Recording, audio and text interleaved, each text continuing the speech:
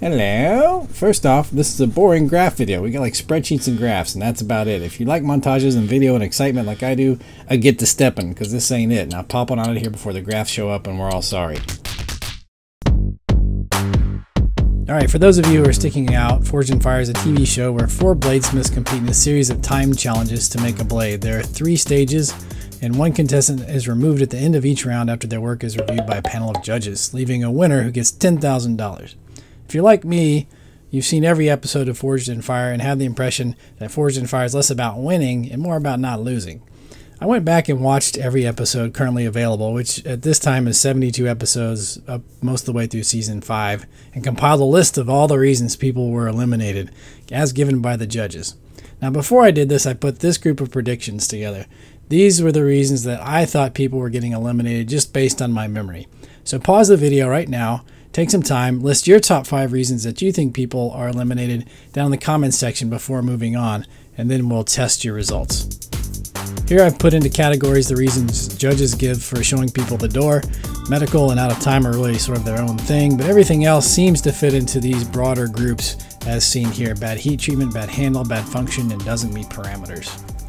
There's only been 216 eliminations to date, but there's 249 reasons listed here. That's because Sometimes judges list more than one reason. Based on the categories we've discussed, here's the overall list of forge fouls the judges did not excuse. Heat treat tops the list, and if we drill down a little bit, we find that not hardened is the number one issue, followed by large grain, a criticism that's growing in popularity. Strength testing failures such as bending, breaking, cracks after heat treatment, warping, and two contestants ruining their own temper trying to straighten their blades with heat. Next up is bad functioning. I think this is primarily blade geometry. There's lots of issues with cutting, chopping, stabbing, and being too thin, which I think is some of the reasons we're seeing some rolled edges, and that's sort of rolled into that group there. Hard to sort that out sometimes. Too heavy, balance isn't right, and then misshapen. Next is bad handles. And if you're like me, you really thought that bad handle indexing was at the top of this list because it's just such a frequent concern. But actually, the most common reason for elimination is material broke. Material broke. Why are we using pine cone resin when there's G10? I don't know. Misshapen are injurious handles. We had some handles cutting some people, uncomfortable, followed by indexing. Not that common. Forging errors seem a little more common than this, but this is their frequency. Of the forging errors, the most common one is bad forge welds, followed by misshapen, followed by it's too thin to fix any errors, such as warps or uh, fixing grinds or cold shuts. Then hammering cold before or after heat treat, some people broke their blades. Cold shuts and the stress riser. In the latter round of a recent episode, a stress riser caused a break.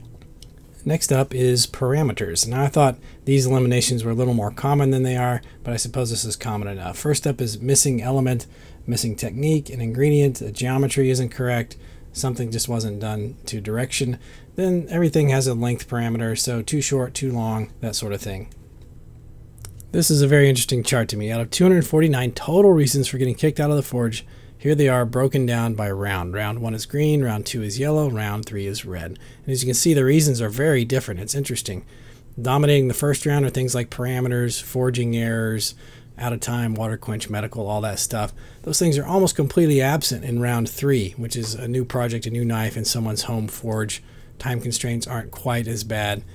Uh, fit and finish sort of comes to the front in round three, which I think is good, or at least it becomes more of an issue. It's I wouldn't say it's prominent, but uh, function a very big part of round three, which is nice to see.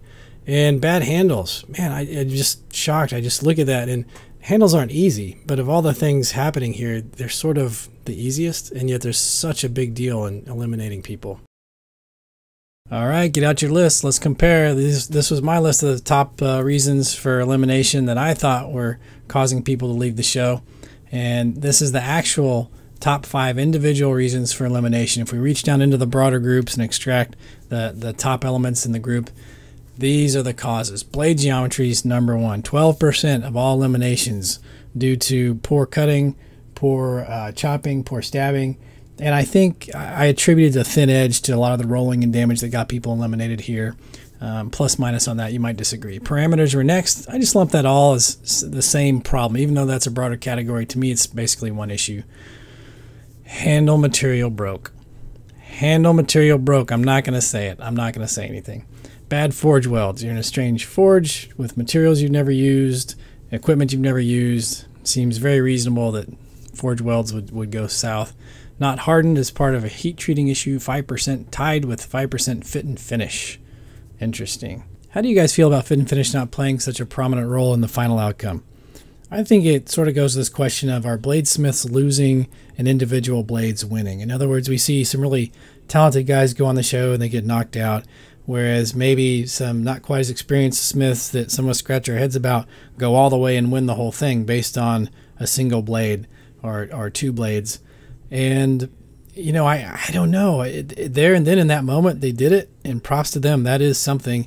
But is the tilt too much towards an individual performance and away from bladesmithing skill and broader experience? I don't know. What do you guys think? Also, do you think Forged in Fire is something you win or something you just try not to lose? I love the show. You guys tell me what you think. Later.